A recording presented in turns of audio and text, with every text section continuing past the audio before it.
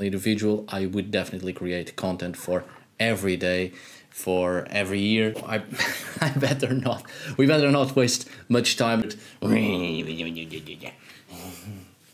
Concern for animals and an afterlife place for them, and uh, I'm I'm specifically specifically referring to um, literary sources such as the Prose Edda, but also uh, some of the surviving skaldic poetry. Hello my dear friends, how is it going? I'm Arith Härger and today I'm going to talk about the possibility of an afterlife notion for our beloved furry companions in relation to Scandinavian belief systems, mainly in relation to Old Norse societies of the late Iron Age and throughout the Viking period in the north. I'll be focusing on cats and dogs as such animals have been usually considered to be the main pet within the Western societies, so it is easier to find information concerning such animals. Now, you, you may be thinking, Arith, have you run out of ideas for a video? And the answer is fortunately and unfortunately, I have a lot of ideas and I could honestly create content that would last 30 lifetimes. And if it were humanly possible for a single individual, I would definitely create content for every day, for um, every year in all those 30 lifetimes. Alas, I won't live that long, so better not waste time and just go straight to the subject. I'm doing this video uh, not only because it was a question posed by one of my patrons and it's perfectly understandable the um, the concern with our furry companions and uh, where they go to after they depart from this world, but not from our hearts. Um, and uh, and also because I, I find this subject quite endearing, and from this uh, there may be a new thing or two we can learn and perhaps appease the minds of those who love their little furry friends. So, with no more delay, let's start our today's video. My dear friends, please was there ever the notion that cats and dogs would go to a special afterlife place in pre Christian Scandinavian religious conceptions? The answer might seem obvious, but unfortunately, when Old Norse literature was written down, it was meant for a, mainly a Christian audience. And unlike pagan mentalities, during the Catholic period of Scandinavia, there was little concern for animals and an afterlife placed for them. And I'm specifically, specifically referring to literary sources such as the Prose Edda, of course, but also some of the surviving skaldic poetry, skaldic poems that um, clearly reveals content that was purposely created to perform within an Old Norse Christian court.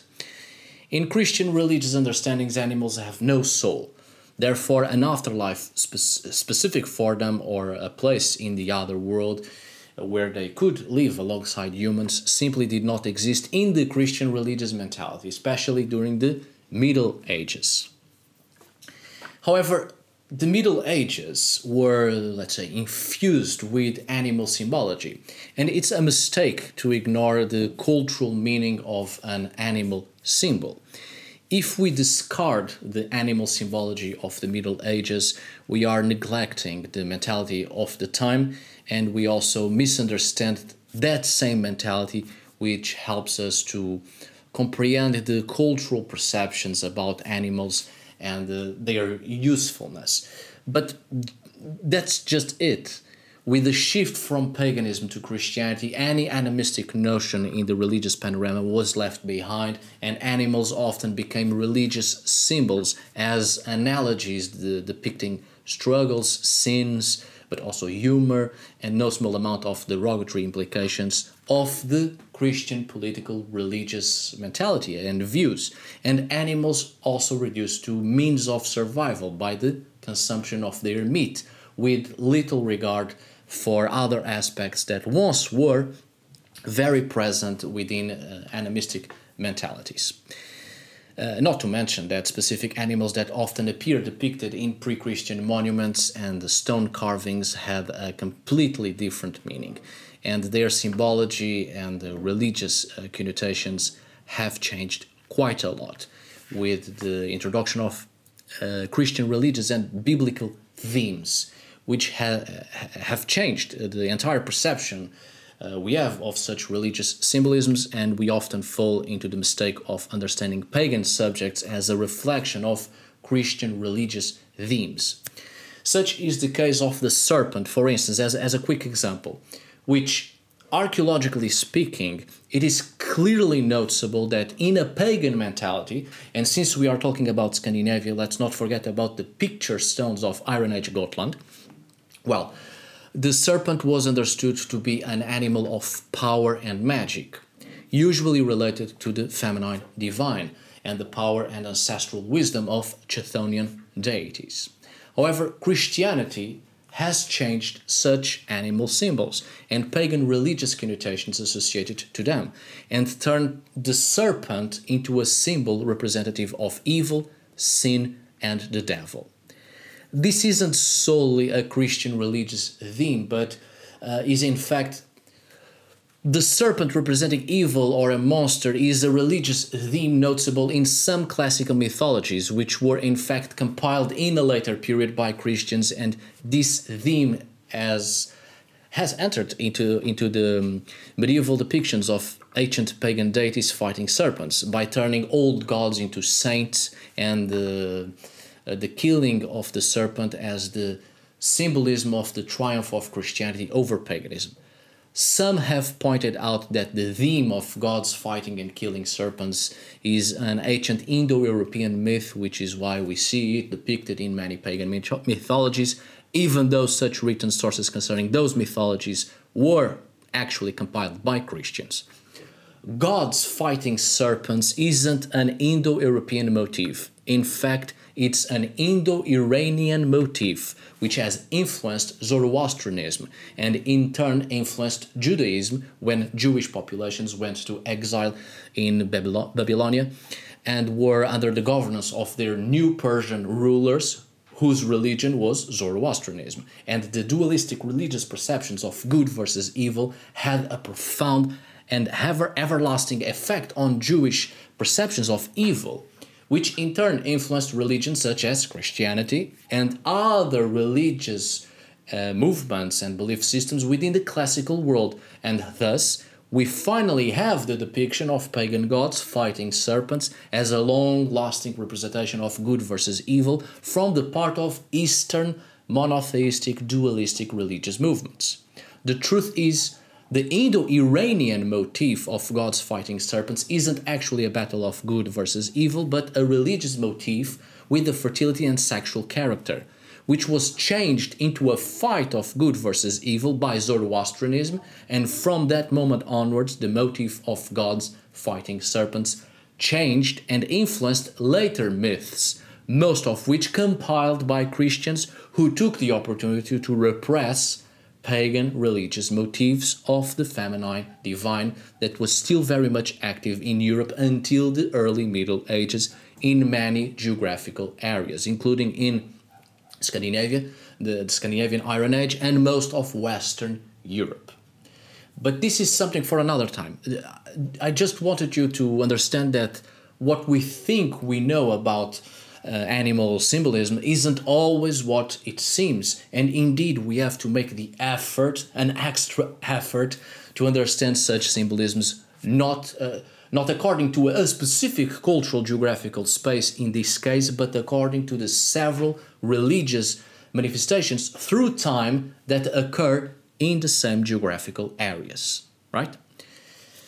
This is one of the many reasons why studying medieval sources uh, that, that speak about pagan themes, uh, in this case Old Norse written sources, cannot be taken at face value as if such sources were accurate depictions of the pagan mentality. There may be some pagan themes in there, of course, obviously, but unfortunately greatly seasoned by religious mentalities in direct opposition to pagan religious themes, belief systems, and cultic behavior. However, there is no denying that the Old Norse myths and other uh, literary uh, works are imbued with animal symbolisms, which is part of an animistic understanding of the pagan past. That even though it was altered when such sources were written, they still contain important information in relation to the pagan mentality of the past, especially when Christian authors that compiled such sources go through a great length to underline evil aspects or simply purposely take out the religious and cultic connotations, leaving the accounts with several gaps but also with loads of contradictions. So, indeed, there could have been uh, specific afterlife places where certain animals would go to or inhabit. But as said before, when the sources were written down, it was already with a different religious mentality, or better still, uh, a different worldview in which animals were little more than food material or food uh, source or, or food stuff. So, whatever animistic perceptions animals may have had in pre Christian Scandinavia, those notions are hardly perceptible, and animals in Old Norse literature became solely religious symbolisms. But archaeology gives us more clues uh, than the literary sources, and animals buried alongside humans uh, may indeed reflect a mentality or the, the mentality of the past towards animals on a pre Christian archaeological context, of course. Let's see. Um, I have already done uh, three videos at least about cats in Scandinavia, and uh, perhaps this might help you to understand the uh, pre Christian Scandinavian religious panorama towards such animals. Uh, I'll leave uh, here on this right upper corner in the information icon the, the first video I did about cats, simply entitled The Viking Cats. However, uh, by the end of this video, I'll leave two suggested videos which I think uh, they are important to understand the archaeological and the magical religious symbology of cats in Old Norse societies. Uh, and the videos are entitled Why Cats and Witches, a Norse Perspective, and uh, the other one is about Freya, uh, cat cult, and uh, fertility magic. Uh, please do watch those videos if you have the time, of course, and uh, I think it will be useful to understand at least the weight of cats in Old Norse societies. You see, cats were not native to Europe. Cats were brought by the Phoenicians uh, along the Mediterranean coast.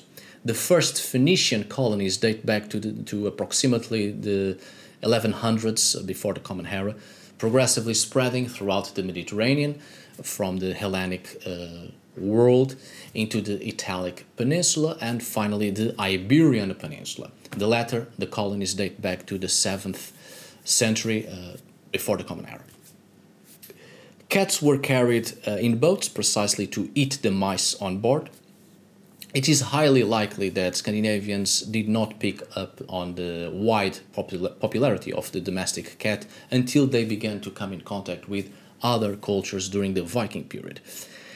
It is possible that Scandinavians have only shown interest in cats by coming in contact with the British Isles, where cats were used as pest control, just like in Mediterranean and Western European cultures. There are many pre Christian Scandinavian traditions that have come from other cultures, as you know it, such as the tradition of placing money in the mouths of the dead and the idea of caves being entrances to the underworld. Uh, and so the tradition of the cat as a fertility symbol, as a fertility symbol, especially in relation to fertility goddesses, was also brought into Scandinavia at some point, probably during the Iron Age. Uh, during the Common Era, during the migration period. Mind you, that I'm talking about magical religious conceptions in relation to the cat and not the animal itself, right? This doesn't mean that cats did not exist in Scandinavia before the Viking period, obviously. Wild cats uh, subsisted in the post glacial thermal period, but wild cats are not domesticated cats, obviously. The earliest evidences of domesticated cats, domesticated cats in Scandinavia come from the migration period of the Iron Age on the Swedish islands of Öland and Gotland, 6th century of the Common Era. But it was not until the 11th century that the cat became a common animal in Sweden, at least. The cat was used to hunt mice and rats, as well as for its skin. Throughout the Middle Ages, the pelt industries made a lot of use from cat skin and cat fur. But it is important to take notice that even before Scandinavians had domesticated cats, they already venerated felines during the Neolithic, judging by the archaeological findings of settlements dating back to that period in Scania, where wild cats were found buried in a pit covered with red ochre. So felines already had a certain importance in the religious panorama of Scandinavia, pre-Christian religious panorama of Scandinavia, at least since the Neolithic. But there's no telling what the spiritual perceptions in relation to this animal were. After the cat was progressively domesticated during the Iron Age, the close contact with the animal certainly has had a greater impact on the lives of pre Christian Scandinavians. And it's in that moment that the religious perceptions towards cats might be a little bit clearer to us. The Celts could have been an influence on the cat's position in the Old Norse religion. Celtic cultural influences were surely widespread all over Europe, but the Celts that shared the same uh, geographical area as the Germanic peoples of continental Europe certainly influenced Scandinavians precisely during the migration period. And there is no doubt that the Norse had close contact with the Celts, judging by the Celtic influence in Norse art. Take the example of Ceridwen, a Celtic cat goddess with many important similarities with Freya. Ceridwen, like Freya, was also a shape changer as well as a dual deity of savagery and fertility. And perhaps it is in Iceland that we see a greater religious importance towards the cat. The Icelandic population was largely made of uh, made up of, uh, of Norse Celtic mixture, and we find cats' skulls in uh, human burials, deposited in pits, not at random, but clearly with the connection with the deceased. Cats in Iceland or back in homeland Scandinavia were not needed as pest manage management until much later in Scandinavian history. So it seems clear cats were brought to Iceland not with the sole purpose of pest control, but as pets.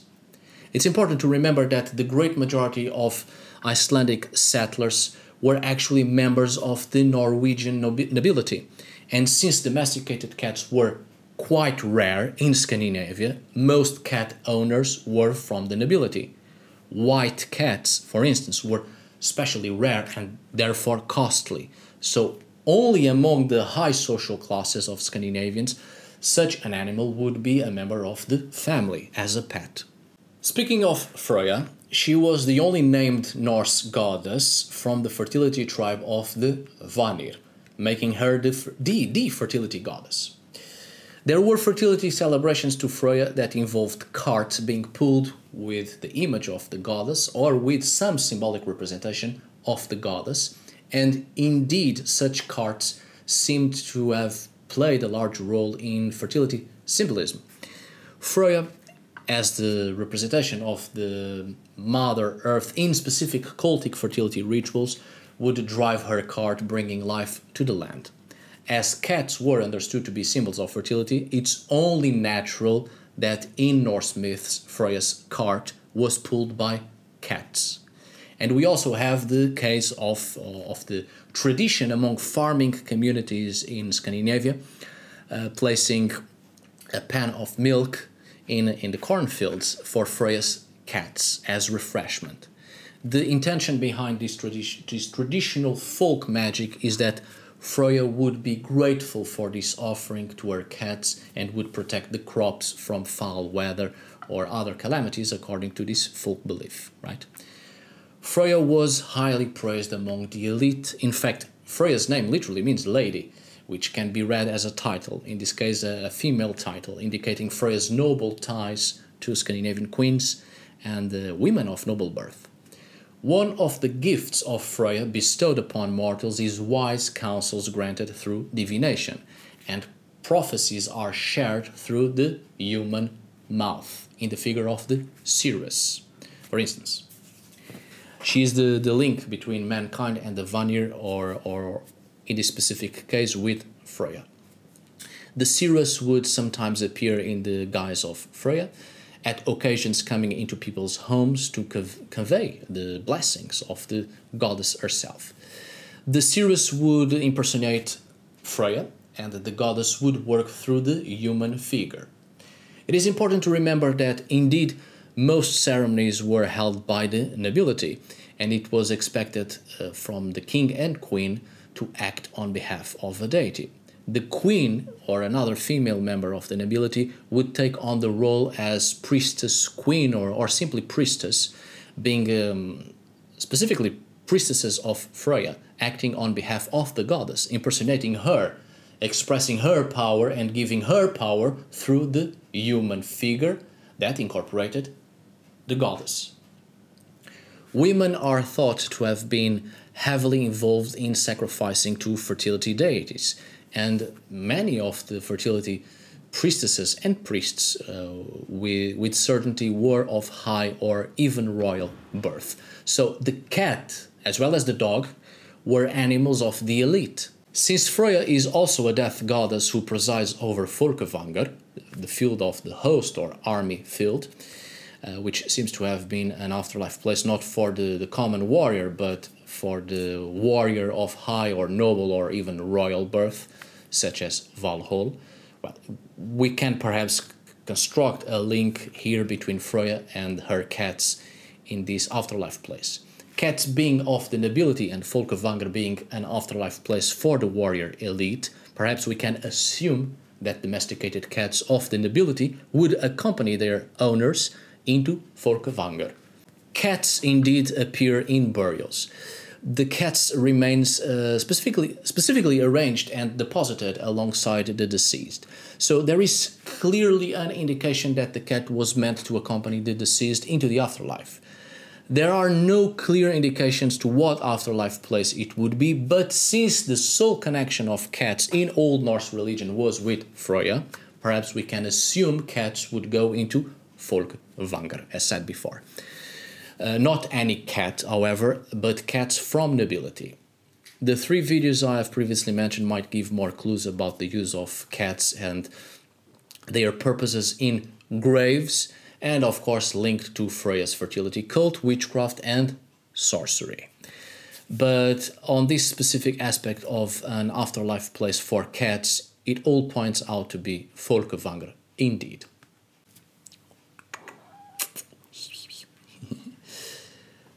Dogs have also been linked to nobility. In fact, in the cult of Odin, and I have uh, an old video about it entitled The Cult of Odin, uh, but it's still relevant. well, uh, we have evidences that dogs have been sacrificed as offerings to Odin and not solely as food resources. After everything that was said previously, perhaps we can immediately draw a picture of the afterlife place for dogs if cats would go to the afterlife place for the warlike members of the nobility, dogs would go to a similar afterlife place, since dogs were also considered to be pets of the nobility. In Norse mythology, it is said that half of the warriors go with Freya to Folkvangr, and the other half go with Odin to Valhall. Both afterlife places are otherworldly realms for dead warriors, but not the common warrior, however, but again the warriors of high birth. If cats go with Freya, could dogs go with Odin into Valhall? Perhaps this is the picture we can immediately draw, judging by the dog sacrifices to Odin and the link between dogs, nobility, and afterlife places for the nobility. It's not uncommon to find large animal bones in Viking Age ship graves. For instance, eight large hounds have been found buried on both sides outside the, the long ship, uh, along with a, with a small dog placed inside the same long ship in the Gokstad burial mound, dating approximately to 900 of the Common Era. The Gokstad burial mound is a very complex burial mound from the perspective of its grand arrangement, its huge proportions, and the great amount of material culture there was a, a, great effort to carry a long ship into the, the field, and all its preparations and arrangements have likely to have moved a great group of people. It was without a doubt a costly funeral display. It's not a common person that was buried there, but someone of high birth. Either a king or, or, or at the very least a chieftain or a lord or a jarl, uh, a, a warrior of nobility. So it was expected that this person would reach the afterlife according to its social class or social status, and that would either be Folkvangr or Valhall. Judging by the great amount of dogs, most likely the afterlife intended was some realm where Odin presided, since dogs were one of the most sacrificed animals to Odin. It's important to point out that the cult of Odin wasn't a widespread religious activity. The cult of Odin was reserved for the elite. Indeed, Odin was the god of the elite as well as the patron god of skalds, of poets, who performed precisely at courts among the nobility. The great majority of poems evoke Odin precisely because he was the god of the elite and the poets performed for the elite. In fact, a poet in Scandinavia, a, a skald, lived off the patronage, patronage uh, from a wealthy lord. Please uh, take a look at my video uh, importance of poetry in the Viking Age if you have the time obviously so we don't have to waste much time with me repeating myself again. So the poet would often ev evoke Odin to please the wealthy lord. Contrary to what TV series, comic books, gaming and general, uh, the general pop culture, Odin was not in fact a popular deity during the Viking period. He became far more popular in Nordic Christian medieval sources and since the 70s of the 20th century in some also through religious manifestations. Now, returning to the dogs in the Gokstad burial mound, the eight large dogs were identified as being a sort of gaze hounds, which are breeds or types of hunting dogs that primarily hunt by sight and speed. So basically, these dogs were hunting dogs and large in size. They were highly valued in the Viking Age society.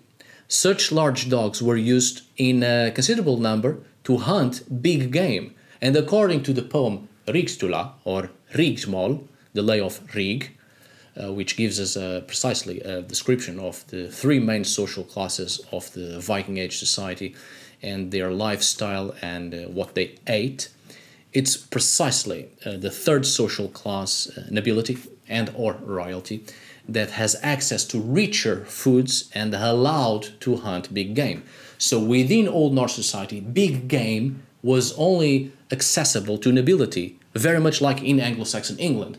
And so it would be nobility that would possess the type of dogs breeds that would allow them to hunt big game. And when such dogs are found in a burial context, we can be certain it's a burial context for someone with high social status. But of course, uh, you may be asking, but what about the smaller dog inside the longship?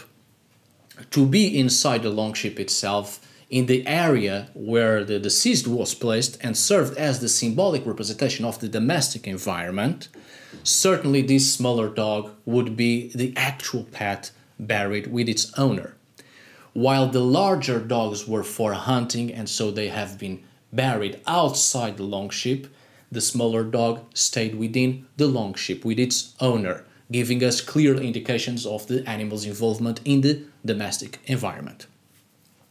In fact, it is curious to notice that, uh, for instance, in the Orkneyinga saga, we can read about a small dog or a lap dog that the owner brought with him on travels overseas. On their last journey, uh, the owner and his dog were almost burned to death, but the owner managed to escape and took the dog with him. This is a good account, actually, of the friendship between a man and his small dog. Small dogs kept as pets. According to the Frostathing law, the Frostatingsloven, uh, Frostanting Slovan, uh, small dogs were highly valued, and if for some reason someone killed such a dog, they had to pay a fine equivalent to the price of a thrall, a slave which was very expensive.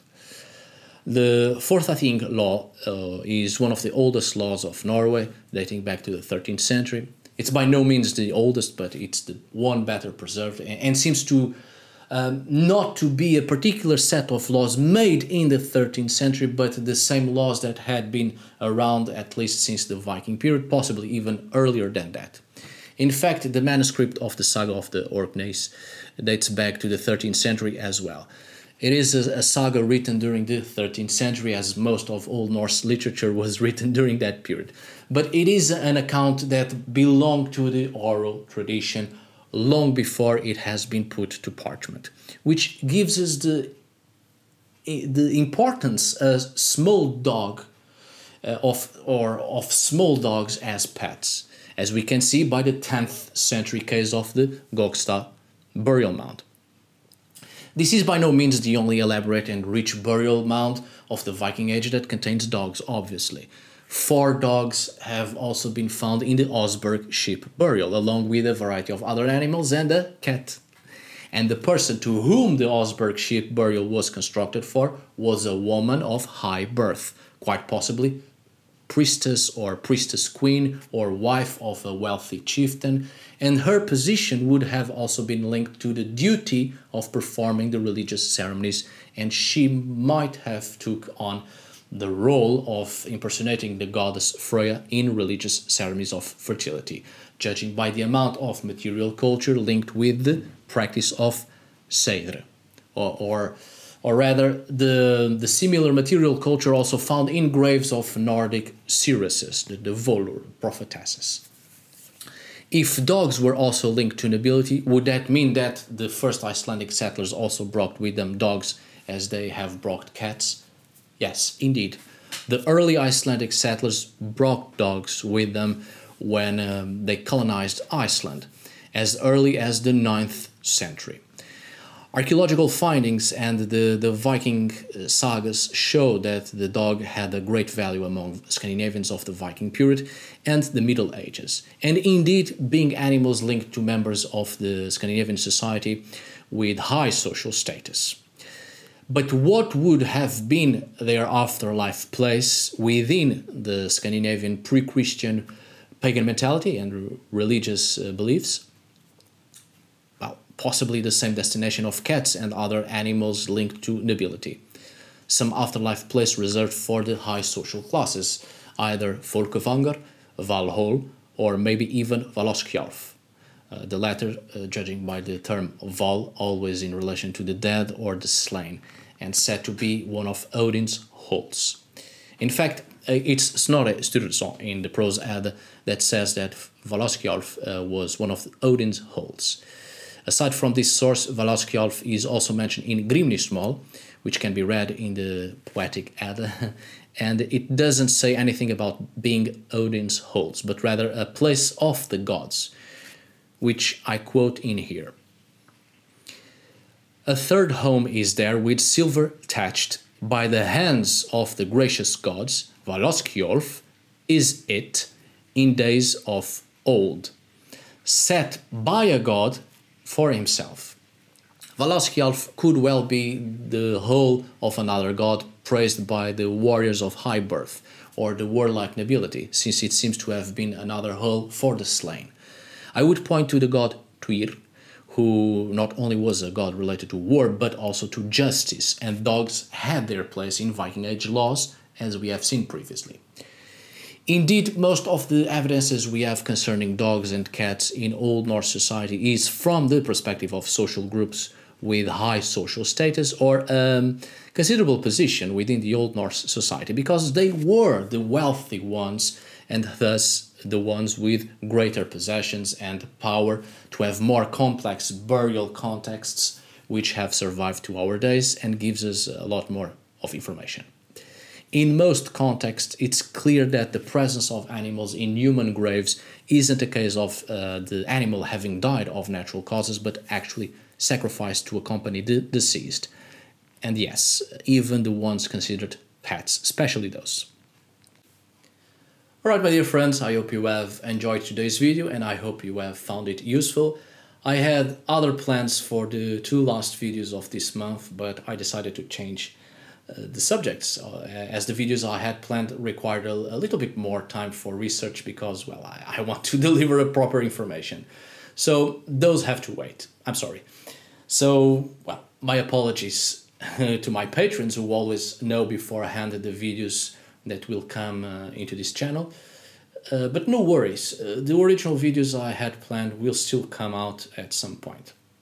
Now thank you so much for watching See you on the next video. And as always, för idag. Thanks for today. Obrigado por hoje.